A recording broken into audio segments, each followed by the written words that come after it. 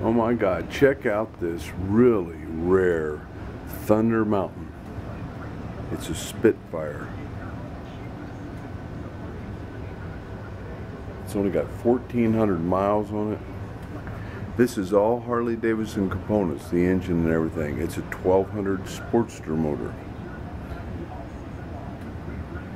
Nice size for the guy that's not six foot tall and wants the reliability of the Harley Davidson motor. And this thing is a doll baby. So it's a 1200 Sportster motor. It's a Softail. It's fuel injected.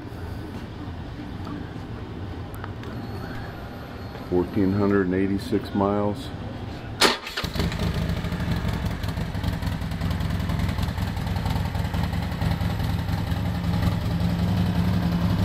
Wheels are chrome, not polished.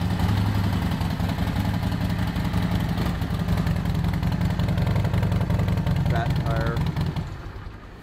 It doesn't get any nicer than this, folks. See this at Dixie Cycle in Pompano Beach, Florida? It's not going to last long.